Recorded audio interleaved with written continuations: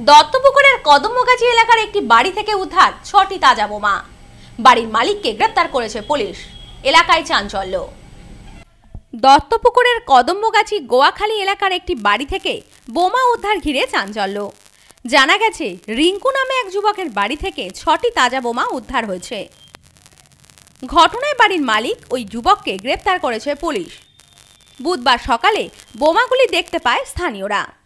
তারা পুলিশকে খবর দিলে পুলিশ বোমাগুলি উদ্ধার করে। বোমাগুলি কি কারণে মজুত করা হয়েছিল তা খতিয়ে দেখছে পুলিশ।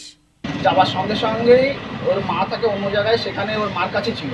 ওর মা পরিষ্কার বলে দিল যে, আমার ছেলেটা এক সপ্তাহ বোম নিয়ে ঘুরছে এবং ও বোমগুলো এক সপ্তাহ নিয়ে ঘুরছে।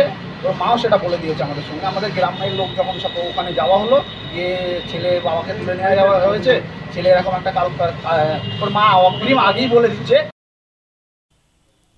Bureau report news no man's land Duttapukur.